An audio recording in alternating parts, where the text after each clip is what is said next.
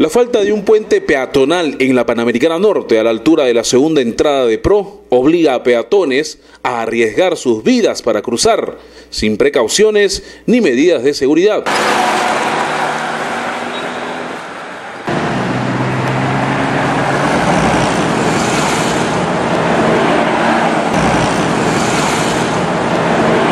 Son reiteradas veces que los vecinos han reclamado la construcción de un viaducto para hacer más accesible el tránsito en esta vía, pero aún no hay visos de solución. Porque es peligroso para cruzar, mira ahorita ves cuántos carros pasan, es muy bueno. ¿Usted pasa todos los días por acá? Todos los días llevo almuerzo a mi esposo.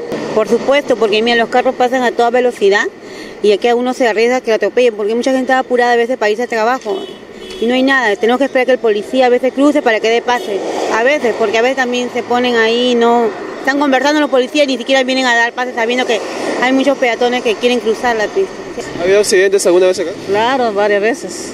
¿Es necesario no? Claro, un necesario un puente. Hace muchos años que hay accidentes bastante, ha habido bastante. ¿Ha habido bastantes accidentes acá? Claro, es necesario. Yo tengo años trabajando acá. La gente intenta cruzar arriesgando sus vidas, pero... Sí, son muy temerarios al cruzar. Es necesario hacer caso los infructuosos reclamos hasta el momento y así poder evitar futuras pérdidas humanas.